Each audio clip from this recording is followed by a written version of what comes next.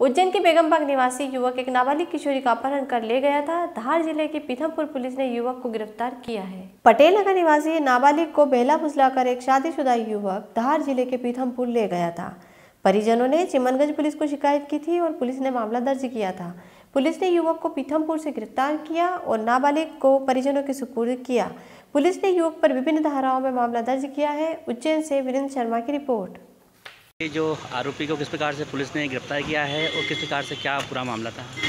फरियादिया three sixty three की एक report हुई थी टेंथ दिसंबर को। उसके बाद हमारी सर्चिंग जारी रही जब नाबालिग बच्ची को दस्तियाब किया गया। जब उसने बताया कि एक समुदाय का युवक है, वो उसको लेके गया था जो कि शादीशुदा था और उसने उसके साथ में उसको रखा और फिर अभी हमने उस आरोप भी, आरोपी को भी गिरफ़्तार कर लिया है और जाँच जारी ठीक है। हेलो फ्रेंड्स आप देख रहे हैं हमारा channel S W twenty four news हमारे सारे वीडियो सबसे पहले देखने के लिए आप हमारे चैनल को सब्सक्राइब करें और पास में लगे बेल आइकन को दबाना बिल्कुल भी ना भूलें।